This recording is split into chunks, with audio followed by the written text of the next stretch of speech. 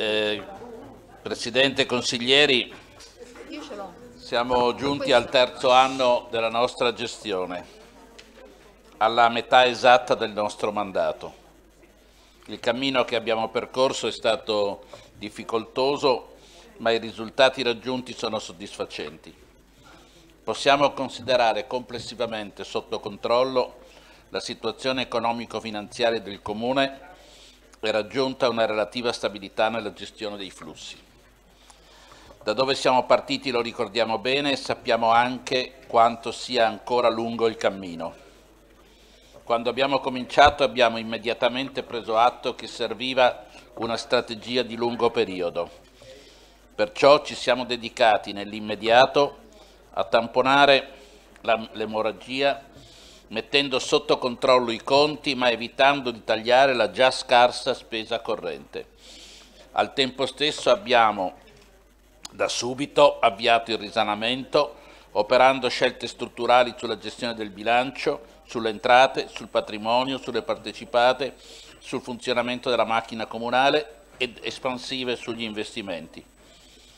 Dopo due anni di terapia intensiva possiamo dimostrare numeri alla mano che la cura è efficace e se la si persegue la si aggiorna, le condizioni per farcela ci sono. Certo, non siamo ancora del tutto fuori pericolo, sarebbe sciocco sostenere il contrario. Ma ciò che abbiamo fatto finora non è stato solo garantirci la sopravvivenza attraverso il controllo costante dei sintomi, bensì migliorare e soprattutto consolidare questo miglioramento progressivo. Quello che dobbiamo fare ora è rendere irreversibile questa condizione. Come in tutti i casi clinici, il problema principale è evitare le ricadute. Questo rischio, come vedremo, non si esaurisce in tempi brevi e bisogna quindi con pazienza e costanza monitorare il decorso.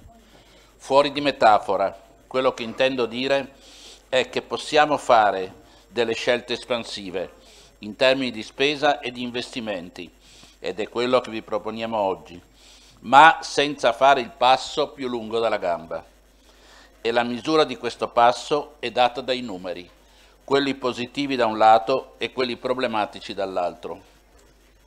Ciò è fondamentale perché i problemi non sono risolti.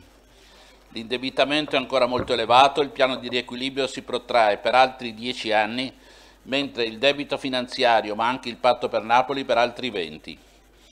Peraltro i focolai di infezione sono diffusi. La riscossione migliora ma, è ancora, ma è ancora sotto la media nazionale e le risorse disponibili sono insufficienti ancora.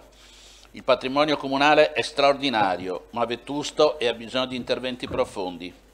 La riforma dell'amministrazione delle partecipate è ben avviata, ma risente ancora dei retaggi del passato.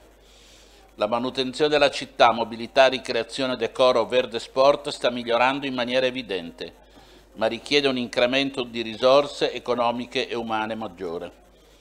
In sostanza, l'attività del Comune sta crescendo ed esprime un comprensibile aumento di domanda di risorse.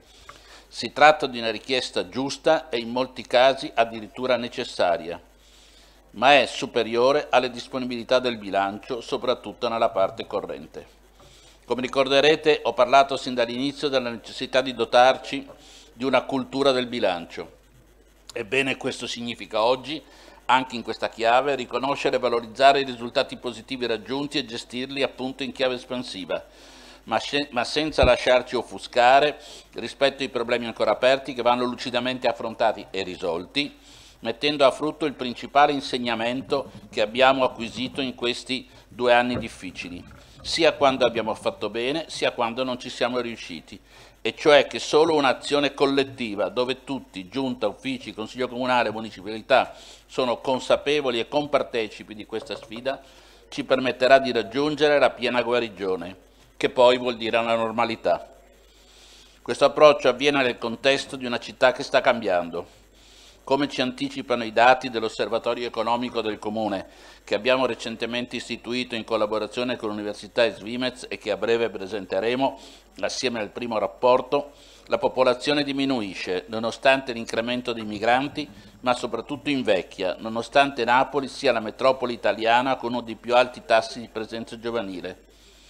Pur presentando un numero di contribuenti inferiore alla media nazionale, Il reddito dichiarato di 22.600 euro è di poco superiore a quello italiano, ma schiacciato sui redditi bassi e ampiamente al di sotto di tutte le città del nord. Il PIL è inferiore a quello nazionale, nonostante l'importante apporto del turismo. Le attività economiche industriali risentono di grandi processi di trasformazione, pur in crescita di fatturato. Il punto fondamentale che emerge, come vedremo dall'ampio lavoro in via di definizione, è una città densa di contraddizioni, ma viva, dinamica e ricca di potenzialità, che gode di un momento speciale di attenzione globale che va utilizzato al massimo.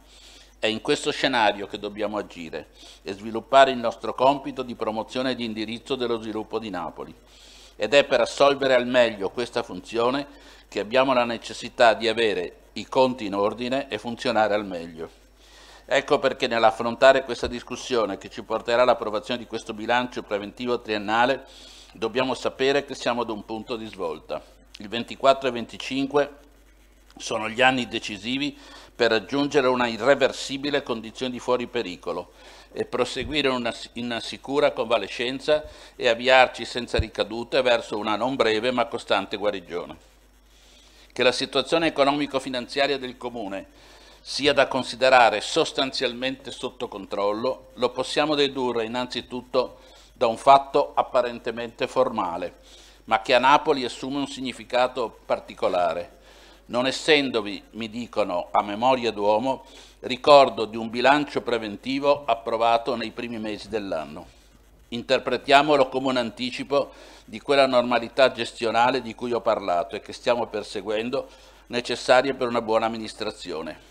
Voglio cogliere simbolicamente questo risultato inedito per Napoli per ringraziare tutti coloro che hanno contribuito a raggiungerlo. I buoni risultati che vi sto descrivendo e che ci dobbiamo intestare sono merito del lavoro collettivo di tutto il Comune, uffici e servizi, e del Consiglio Comunale, a cominciare dalla Commissione Bilancio. Grazie a tutti, ma permettetemi di ringraziare particolarmente la Ragioniera Generale del Comune e tutta l'area ragioneria, assieme all'area entrate e al collegio dei revisori che ci accompagna con grande competenza e disponibilità nel nostro lavoro. E infine, ma non ultimi, i miei diretti collaboratori. Tutto ciò si sostanzia nei dati di bilancio. Il risultato di amministrazione di entrambi gli anni 22-23 registra una riduzione complessiva di 759 milioni di, tra disavanzo e debito finanziario. Per comprendere bene lo sforzo fatto, a questi numeri va affiancato il vincolo dettato dal blocco della spesa dovuto all'effetto del fondo crediti di dubbia esigibilità, che nel biennio 22-23 ha impegnato il nostro bilancio per circa 650 milioni. L'FCD è una norma giusta, antisuicidio come ho più volte sostenuto, perché collega la capacità di spesa alla effettiva disponibilità di entrate, ma è troppo rigida e finisce in alcuni casi a provocare l'effetto opposto, deprimere le potenzialità espansive necessarie allo stesso risanamento. È il nostro caso. Per questo stiamo chiedendo al Governo di rivedere non la norma, ma l'incidenza di alcune sue componenti. In tutto ciò abbiamo registrato un attivo netto di esercizio di 54 milioni, come sapete, essendo noi in predissesto, non possiamo utilizzare queste risorse che vanno a scontare l'ultimo anno del piano di riequilibrio. Stiamo ponendo al Governo l'esigenza che questo risultato positivo di bilancio sia utilizzabile almeno per abbassare ulteriormente il disavanzo dell'anno successivo a quello nel quale si registra l'avanzo.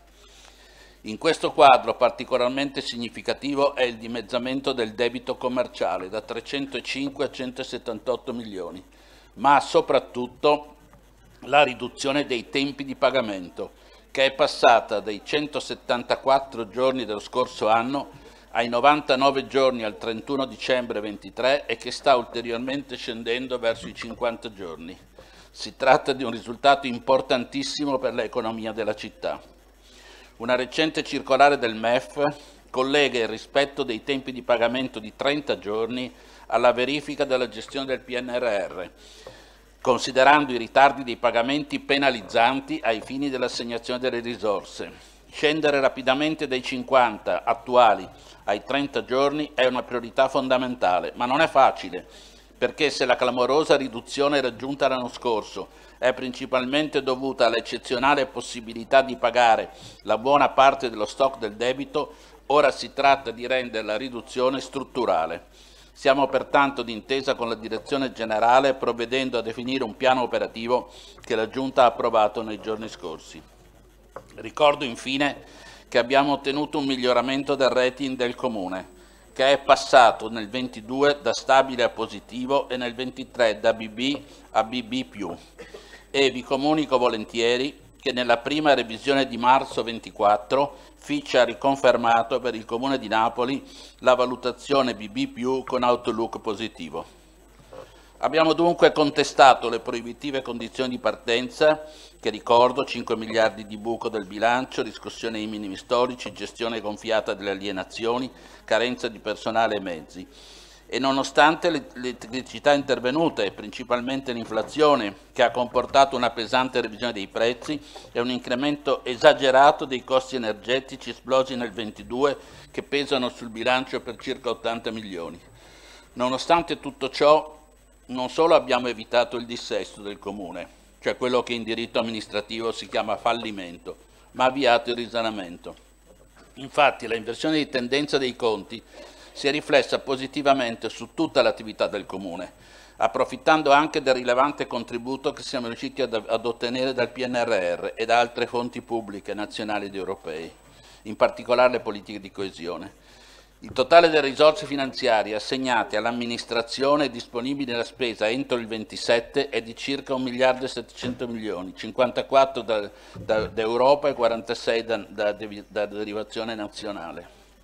Con queste risorse abbiamo avviato progetti di recupero e rilancio della mobilità, le linee metropolitane innanzitutto per circa 700 milioni, di rigenerazione urbana e sociale, le vele, Taverna del Ferro, eh, per oltre 350 milioni, di igiene, decoro, pulizia e verde cittadino per circa 100 milioni, del patrimonio monumentale ed artistico, culturale ed educativo per tutti l'albergo dei poveri per altri 500 milioni. Ma abbiamo al tempo stesso dato vita ad un'attività propria e gestito molte emergenze, sia negative come crolli e di ordine pubblico, ma anche per fortuna positive.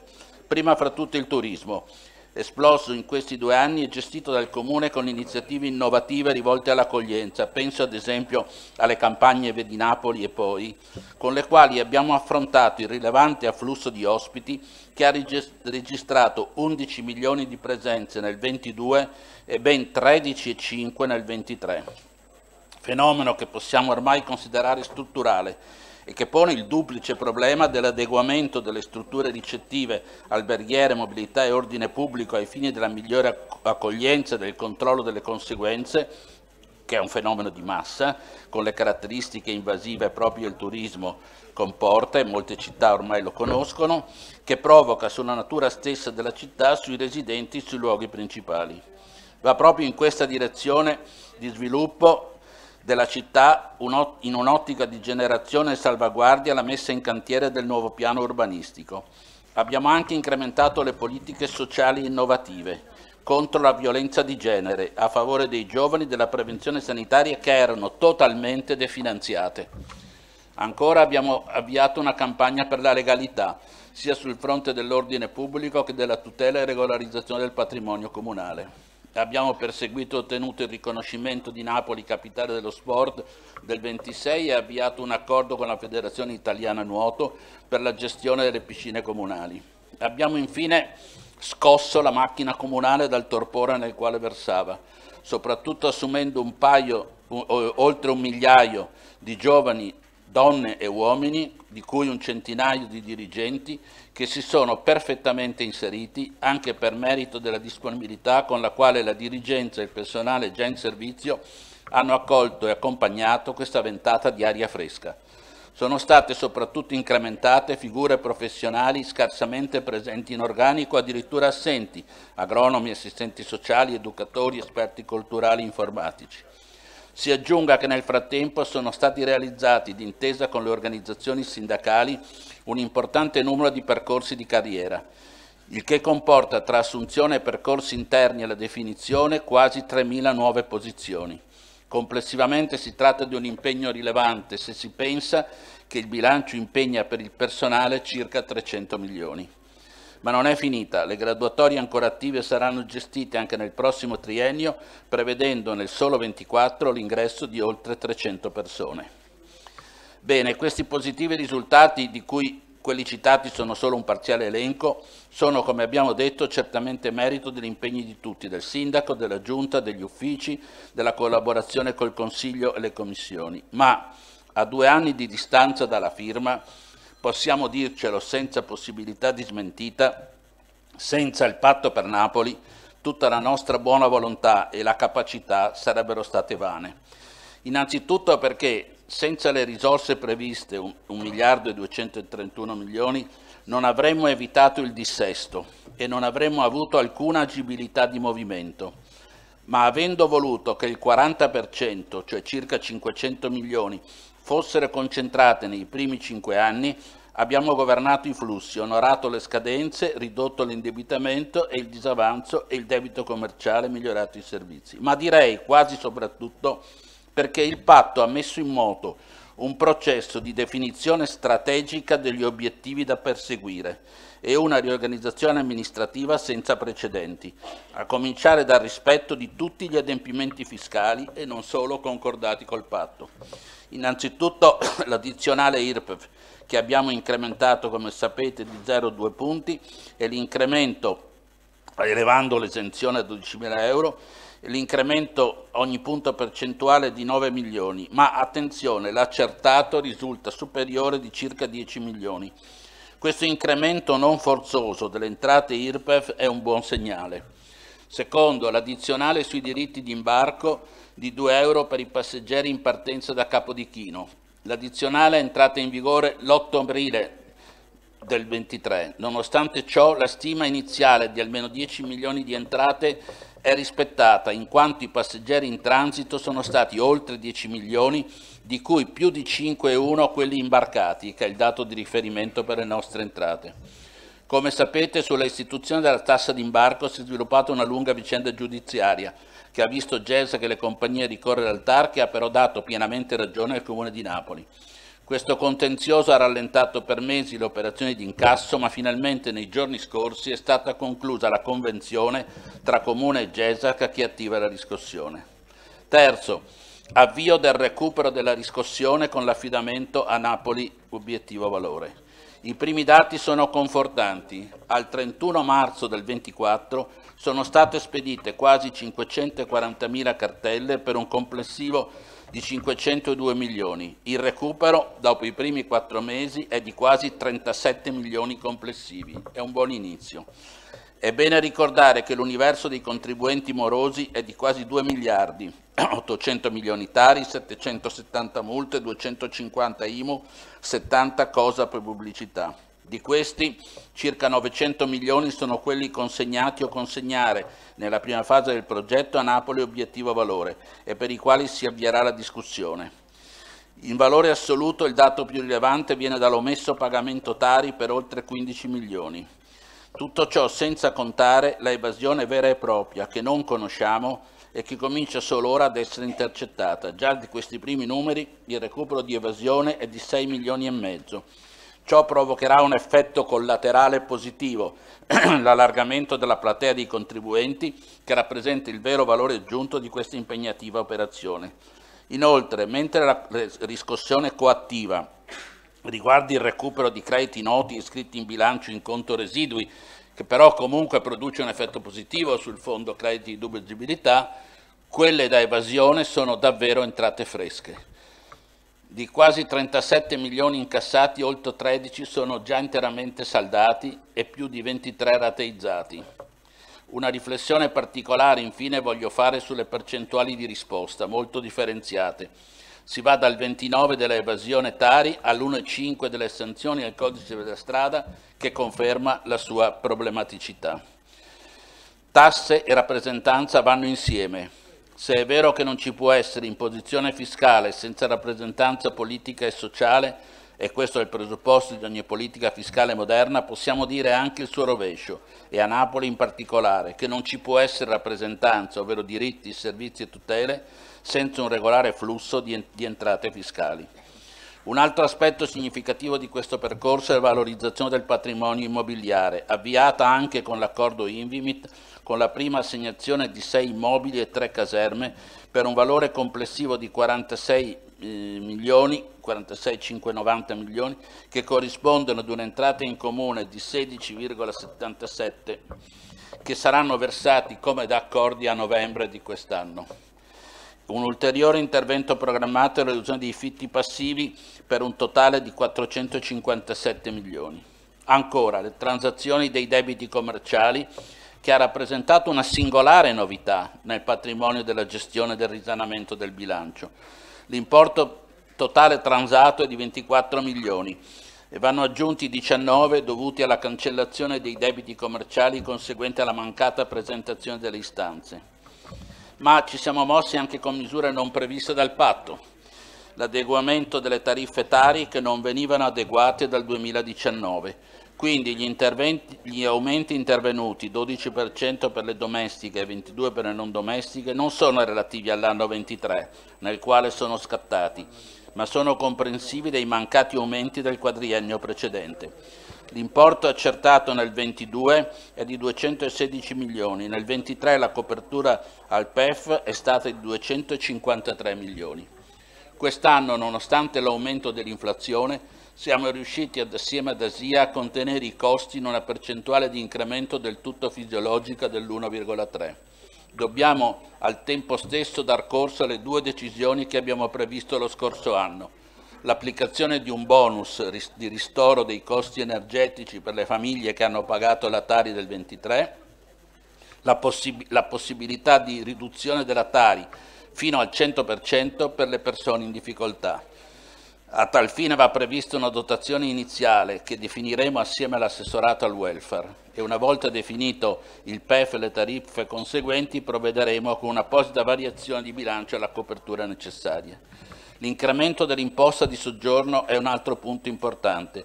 Esso ha comportato un aumento tra il 22 e il 23 di circa 4,2 milioni, dovuti sia all'aumento dell'imposta che all'accresciuto numero dei, dei pernottamenti, che è passato da 4,5 milioni nel 22 a 5,6 nel 23, quasi oltre un milione in più di pernottamenti. Permane però un elevato tasso di evasione al quale si sta provvedendo anche con apposite interlocuzioni con gli operatori del settore. In definitiva, con un'accorta politica e gestione della spesa che ha portato a equilibrare la domanda di risorse con l'effettiva capacità di spendere, abbiamo, come ho detto, non solo evitato i tagli, ma incrementato la spesa corrente di circa 50 milioni, una quota rilevante della quale è andata alla manutenzione, a partire dagli 8 milioni in dotazione alle municipalità. Interessante anche notare che per l'efficientamento energetico abbiamo speso circa 38 milioni. Senza questa strategia e queste scelte operative lo stesso impiego delle risorse provenienti dal patto rischiava di venire inghiottito dal buco nero del predissesto, nel quale ancora ci dibattiamo. Peraltro questo è proprio il senso del patto, che rappresenta, come ormai consolidato da tutti, un esempio del nuovo rapporto tra Stato e enti locali ma come abbiamo detto la strada da percorrere verso il risanamento definitivo è ancora lunga. Le drammatiche condizioni di partenza ci condizioneranno ancora per tempo. È ancora molto alto il disavanzo, 1 miliardo e 845 milioni 825 355 euro che per, il, che per il triennio prevede un percorso di rientro di 187 milioni nel 2024, 175 nel 2025 e 175 nel 2026.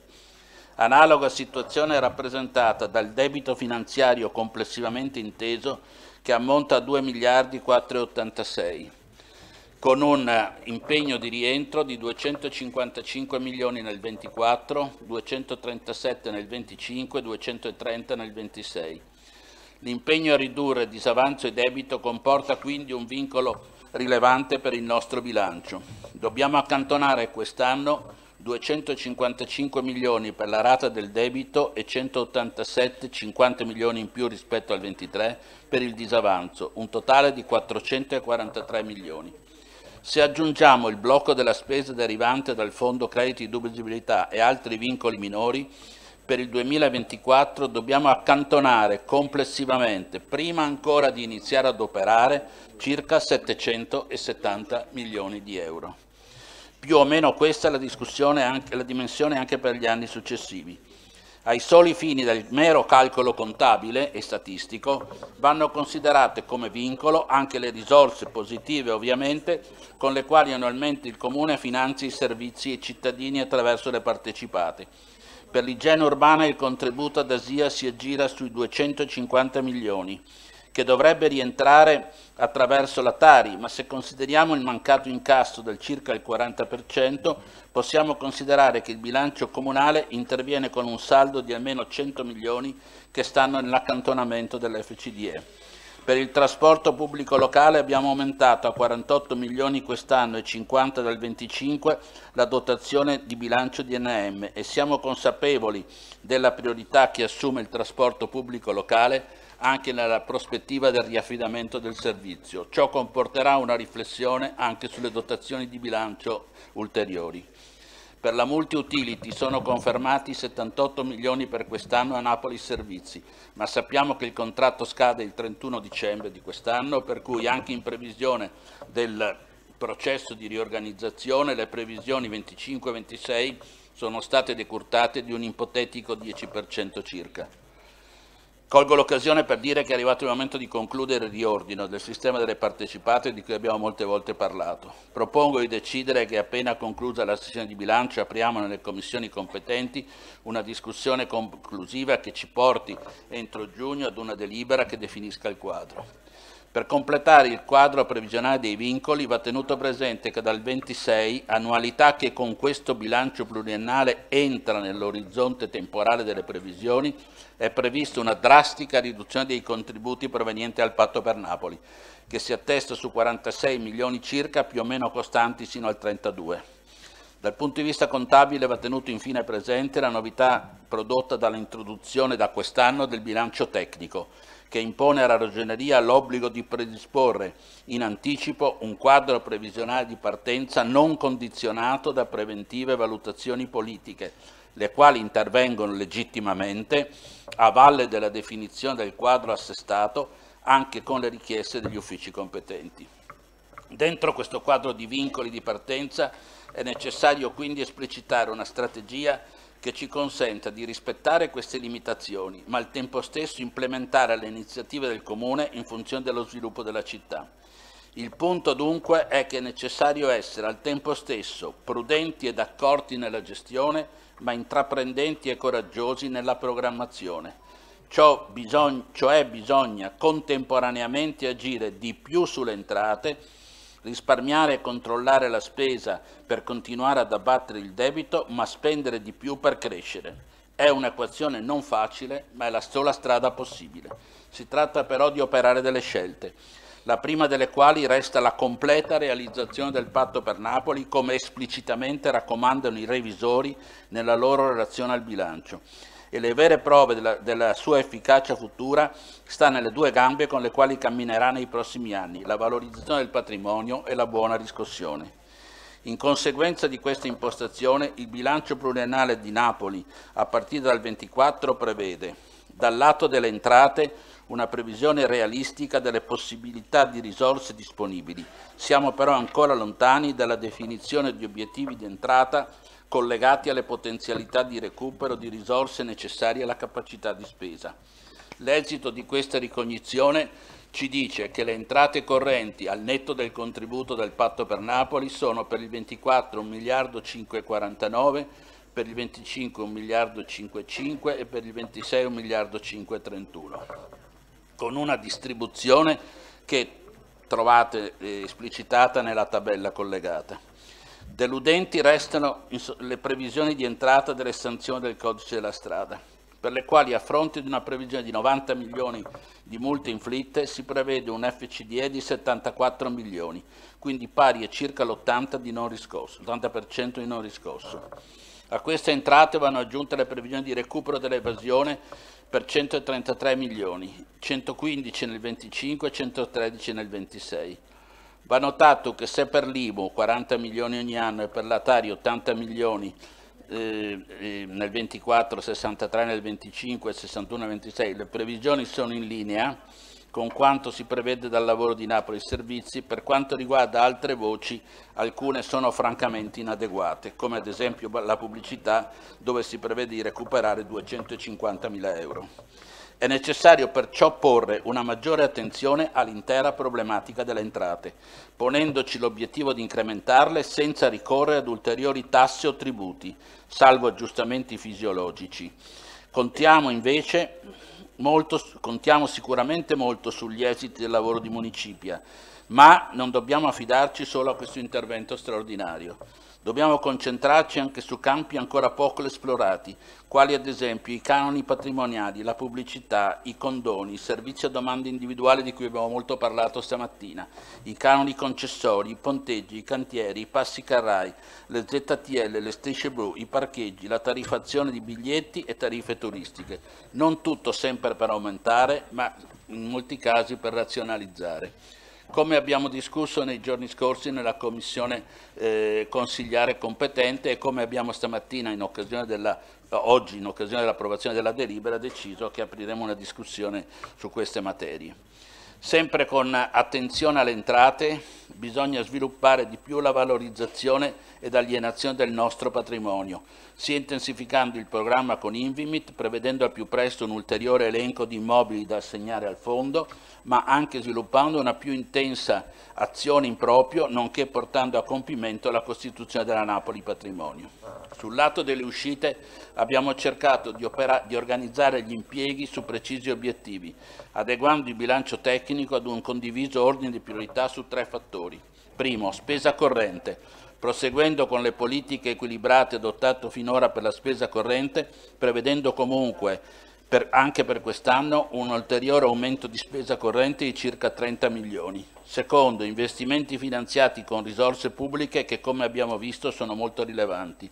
Terzo, piano straordinario investimenti promosso e gestito dal Comune per finanziare il quale dobbiamo rivolgerci al sistema creditizio. Abbiamo avviato un dialogo con la Banca Europea degli Investimenti e il Credito Sportivo e siamo pronti a concretizzarlo appena il, via, il Consiglio Comunale ci dà il via libera con l'approvazione del bilancio. In generale le tipologie di, di, di, di spesa sono molto, sono molto diciamo, diffuse e articolate, lo vedete nella tabella allegata. Eh, vediamo però nel dettaglio rapidamente i tre filoni di intervento. La spesa corrente, al netto degli accorpamenti di legge, è pari a 1 miliardo 295 nel 24, 1 miliardo 154 nel 25, 1 miliardo e 50 nel 26. Non spaventi la riduzione negli anni successivi, è tipico della formazione dei bilanci pluriennali, in questo caso il riferimento vero è il 24 che con riferimento agli incrementi aggiuntivi decisi quest'anno, cioè quei 30 milioni di cui ho parlato in aggiunta allo storico, vengono confermati i capitoli di bilancio, in particolare un milione in più al turismo, 6 milioni in più a infrastrutture e TPL, 6 milioni al patrimonio, 4 all'accoglienza, al welfare, accoglienza minori e disabili, 3 al verde, potatura e spazzamento, 1 alla sicurezza, 500 eh, mila euro alla promozione della città, il, un piano specifico di, di promozione dell'immagine di Napoli, 400 mila euro ai giovani che sembra poco ma è il finanziamento più alto che finora c'era stato,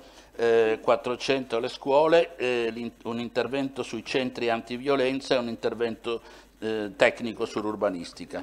Meritano attenzione alcune voci specifiche. La manutenzione, Complessivamente sono 28 milioni nel 24, 22 nel 25 e 17 nel 26, ma con la precisazione che ho fatto prima.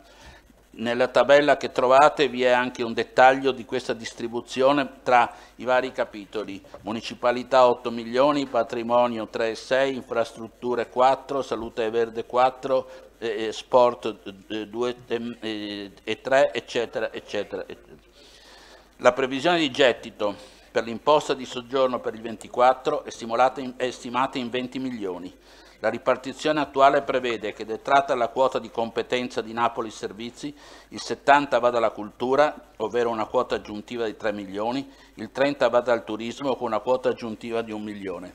C'è da chiedersi se, visti gli sviluppi intervenuti in città in questi due anni, questa distinzione rigida sia ancora valida. Infine, il secondo punto è quello della spesa finanziata dagli enti, dagli enti pubblici. Complessivamente il Comune disporrà, come ho detto, di quasi 2 miliardi. E, e come si può vedere dalla, dalla tabella, la, una elevata percentuale di queste risorse è spesa nell'anno 24. E infine l'ultimo punto è il piano straordinario degli investimenti. Il piano di investimenti che proponiamo è promosso e gestito direttamente dal Comune di Napoli. Si tratta di una scelta coraggiosa, fortemente voluta dal Sindaco, che evidenzia bene il punto di equilibrio nel quale ci troviamo, che è il filo rosso di tutta questa mia relazione. Affiancare all'intervento della spesa corrente, che è obbligatoriamente contenuto, una spesa importante per dimensioni e qualità che abbia un carattere programmatico. La proposta di accendere un finanziamento con la BEI per almeno 30 milioni e col credito sportivo per 6, che è la quota massima finanziata senza interessi per dare prova dell'affidabilità di questa scelta abbiamo inserito nel bilancio a partire dal 25 la copertura della ipotetica rata di pagamento dei nuovi mutui. Essendo necessario un cofinanziamento, abbiamo richiesto agli uffici di liberare vecchi mutui che, non essendo utilizzati ma attivi, possono essere reimpiegati a questi possiamo aggiungere il finanziamento di 11 milioni della città metropolitana dello scorso anno e 8 milioni destinati all'efficientamento energetico provenienti in compensazione dalla vendita della rete del gas. Si tratta ora di decidere la destinazione di queste risorse. Si intravede l'urgenza di, inter di intervenire sulle strade, sulle case popolari, sullo sport, su altri impieghi, ma si tratta di scelte politiche che devono trovare una comune intenzione tra l'amministrazione, in uno stretto rapporto di collaborazione tra il sindaco, la giunta e il consiglio comunale. Presidente consiglieri, quando abbiamo cominciato abbiamo lanciato lo slogan dal patto per Napoli al patto con Napoli. Oggi abbiamo fatto un passo in avanti e, chiediamo, e ci chiediamo assieme ai cittadini che valore ha Napoli per te? La risposta, la sola possibile, sta nella qualità del nostro impegno. Abbiamo detto in premessa che ci attendono due anni decisivi. Abbiamo visto i numeri, analizzato i problemi e le potenzialità. Non c'è altro da aggiungere se non che dipende da noi.